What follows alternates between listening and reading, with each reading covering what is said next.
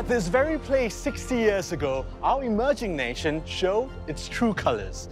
On December 3rd, 1959, Singapore presented its new flag, new anthem, and a new head of state.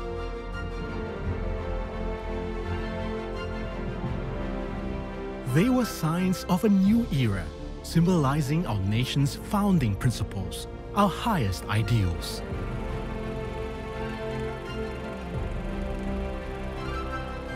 To know what my country stands for, I'm going back to its start. Join me as I decipher the symbols that represent Singapore to the world.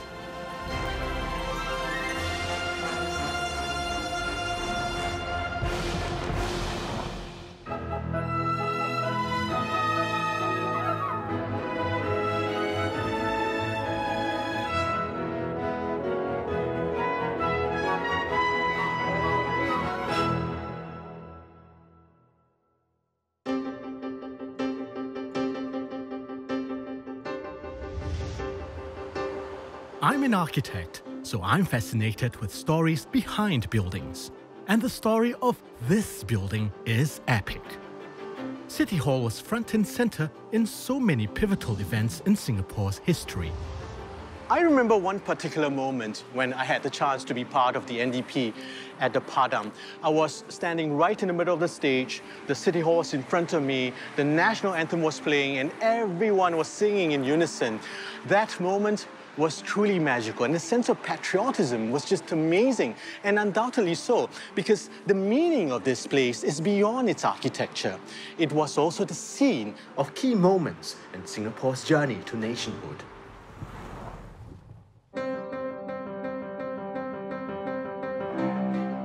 In this room in City Hall on December the 3rd, 1959, Yusof Ishak succeeded Singapore's last British governor as head of state. It was a big step up for the former newspaper editor. From chronicling Singapore's development as a journalist, Yusof Ishak overnight became a state symbol. Just imagine Yusof Ishak standing here facing a crowd of about 10,000 on the Padang. From here, he could see ships in the harbour as they sounded their horns to salute him. Against that backdrop, amidst the pomp and ceremony, Yusof Ishak knew he was handed a job that bore heavy expectations.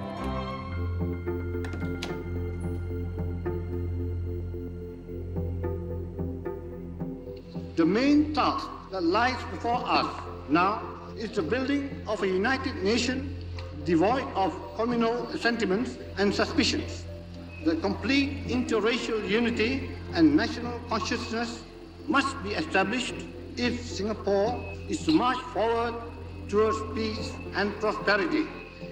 In the past, no special efforts were made to develop a national consciousness and a sense of loyalty towards this country. But the old attitude and outlook must be changed and are changing. Those people who come to stay here have now realized the fact that there is but one country for them, Singapore.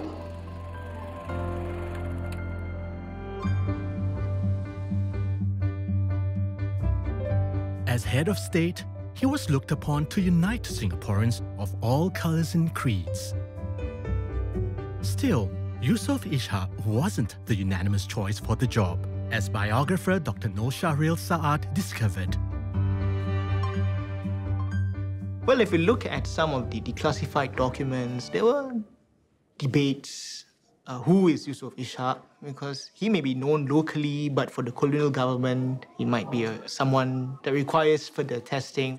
So there were a lot of questions: what he stood for, whether he's Malayan born, what are his interests, what is his family background. Do you think he was the right person for the job? He could have migrated, but someone like Yusof Ishak believed in what the Singapore government stood for that we are a small cosmopolitan country, we represent meritocracy, equality, and as a Malay himself, uh, he understood the consequences of staying in Singapore, where he will become a minority. But his belief in the system, his belief in the values of multiracialism and equality made him stay. It was a time when lofty ideals like social harmony and multiculturalism, later to become hallmarks of the Singapore story, were still an aspiration. We were not even a nation. We were not united. The word Singaporeans did not even existed at that time. Civil servant Richard Tan grew up during those heady days of Singapore's past. So at the time, you need to quickly, quickly claim sovereignty. The moment you are given that sovereignty, that self-government, you have to come out with symbol that will hopefully rally the people together and hopefully go out to the other country, to UN, to showcase that this is now a sovereign state of Singapore. So was that why it's important then to have such state symbols? It was important because otherwise, what, what represents Singapore in the minds, in the perception of the country? People were living in Chinatown, in Geylang. Their own perception of who they are was just that community, just that street. You know, so you elevate them. We are now no longer different community groups, different streets, but we are one country. And you can proudly say you are Singaporean. He symbolizes all of us. To him, devotion and loyalty are due. Yusof Ishak embodied the values and aspirations of a new nation at the cusp of independence. Along with the head of state, other national symbols would have to be created in a hurry, all serving to rally citizens towards a unified vision of Singapore.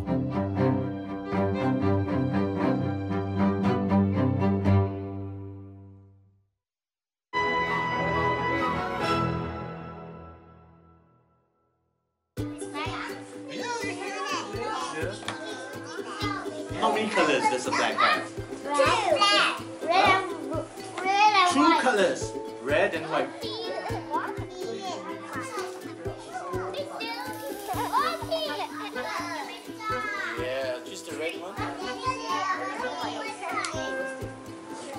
Okay, I'm gonna paste my last two stars on my flag.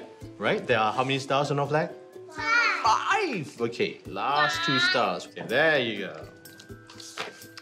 There you go, I've completed my flag. You know, as a kid, I have probably drawn the flag countless of times, but I remember one particular incident when an art teacher reminded me that the stars had to be drawn equal in size, and I didn't quite understand why. The stars had to be drawn equal in size simply because each of the stars represent equal value and importance for our country. Okay, now I'm gonna hang my flag. Who's gonna help me? Come, let's go.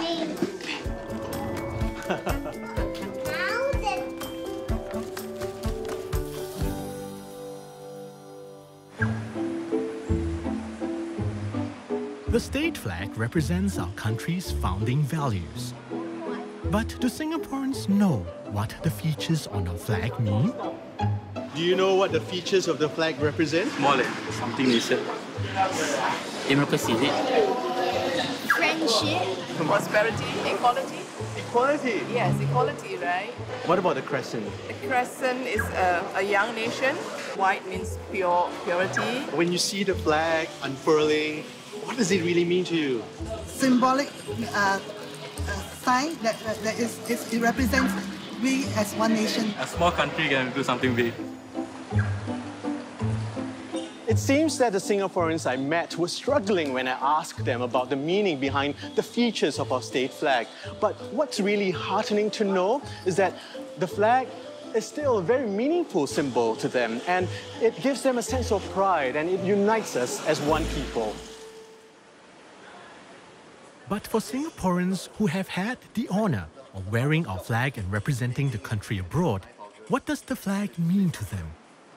So, how has this visual symbol left a deep impression in your line of work or in the things that you do? For me personally, I think the deepest impression um, was in the 2008 Beijing Paralympic Games.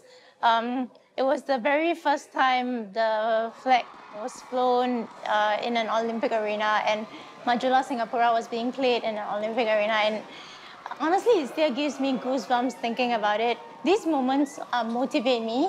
I hope that, and I know that one day I can get back there again. I want, I want the flag to be back up there, and yeah, it really keeps me going.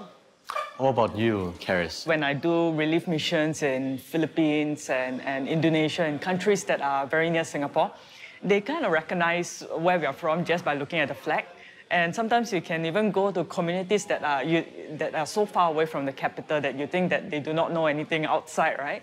But actually they see the flag and they will say, hey, you are from Singapore. And they can share with you how they feel about Singapore. And I can say that most of the times they will share good things about what we have.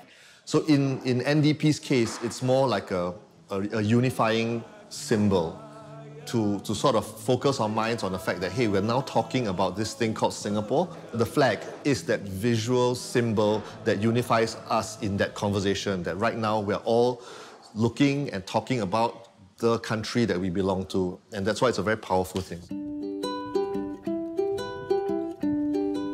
In 1959, the task of designing the flag fell to Dr. Toh Chin Chye.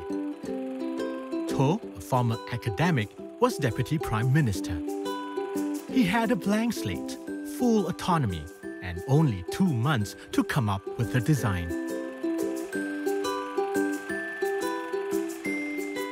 I was in favor of one color, red. But I knew I would not be able to get away with it because, again, red at that time was associated with the Communist Party. There were great sensitivities. We have to be very politically sensitive. Eventually, Cabinet decided on red and white. Red for universal brotherhood and equality, white for purity and virtue. But a very early concept had just three stars for democracy, justice, and equality. I was a bit anxious that putting three stars on the Singapore flag will lead to uneasiness among some people because the Malayan Communist Party also has three stars. Because of this, we added two more stars to represent prosperity and peace. Crescent moon represents a newly independent country. At the same time, I showed the Malays, in particular the Muslims, that we are not a Chinese state.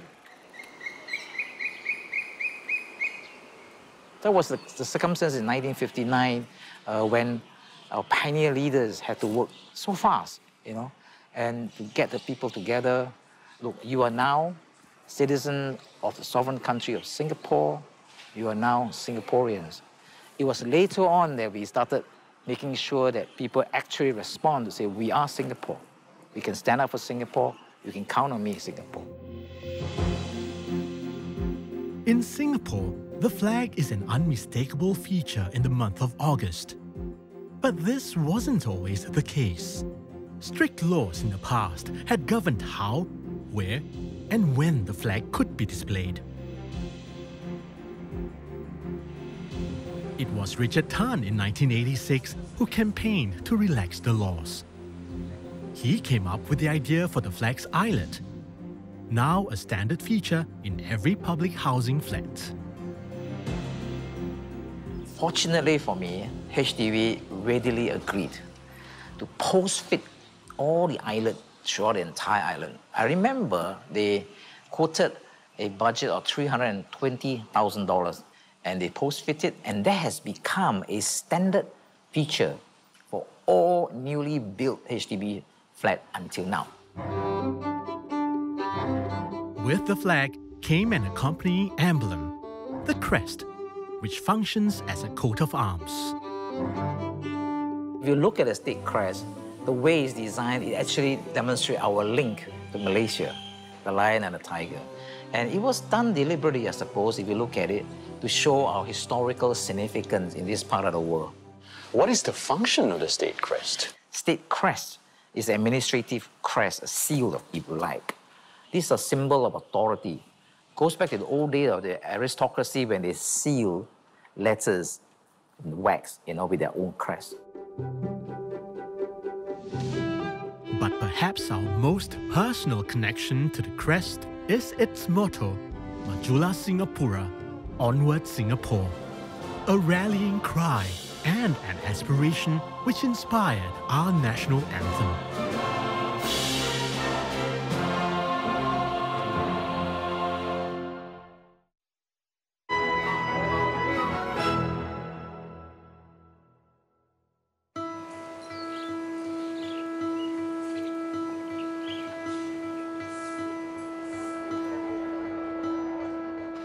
School day in Singapore starts the same way every day.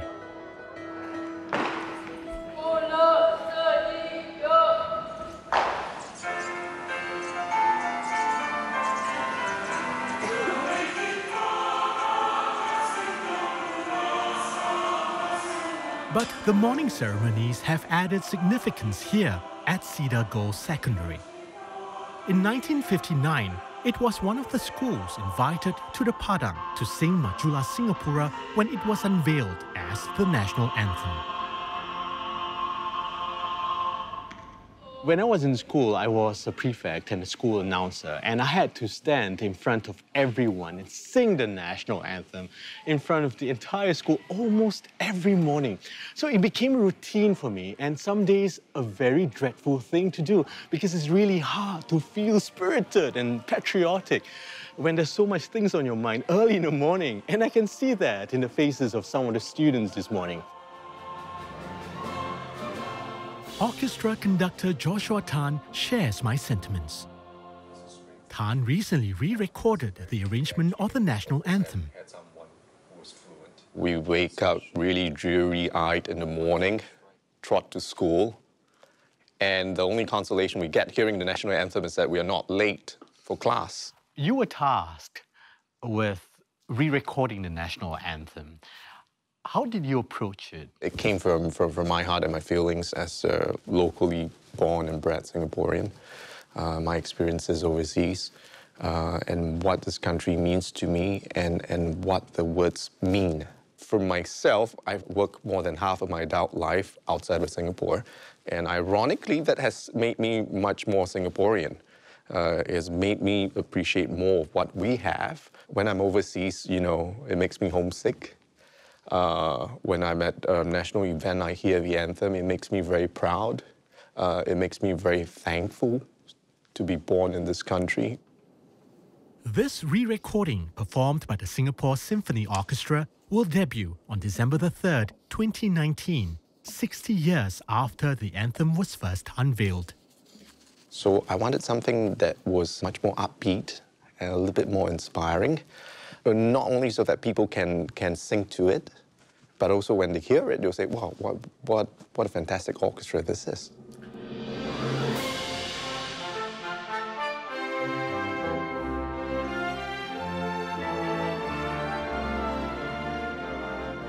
And I particularly like this verse in the national anthem, uh, Semua kita berseru in a new spirit. It doesn't matter how young or how old this country is going to be, because every generation has got to have the new spirit.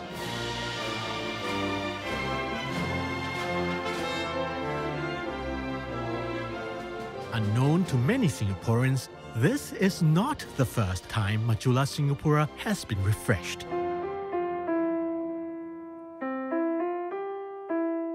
In fact, its very first version was longer by eight full bars.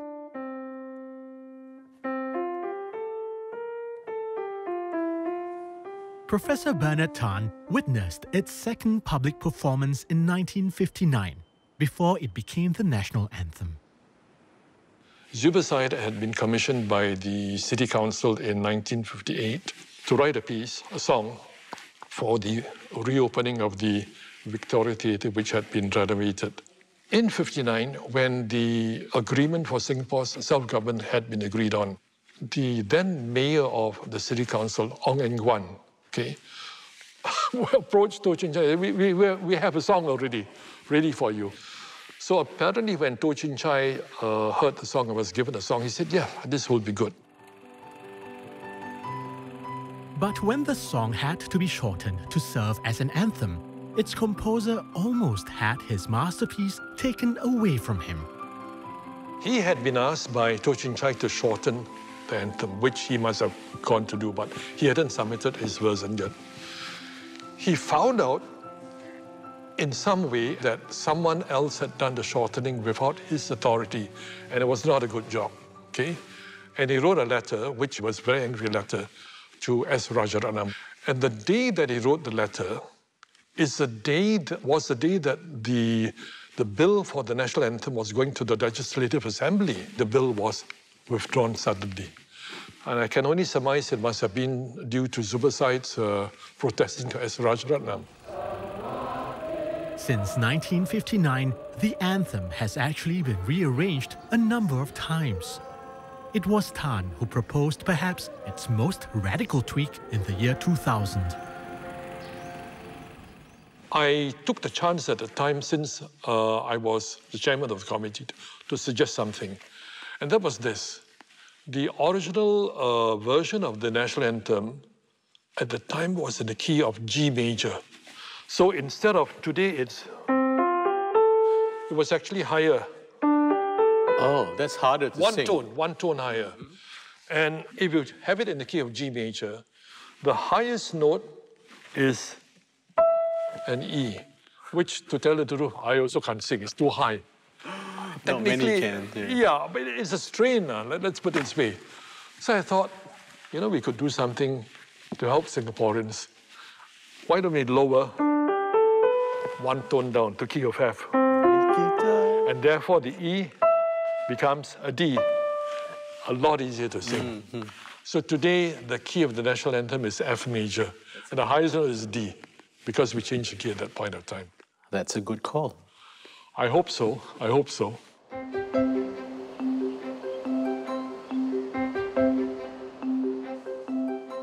Our national symbols are the very elements, the tangibles that we hold on to to remind us of the intangibles, our common goals and our common aspirations. The symbols are there not to unite us as one homogenous people per se, but rather to unite us with our differences.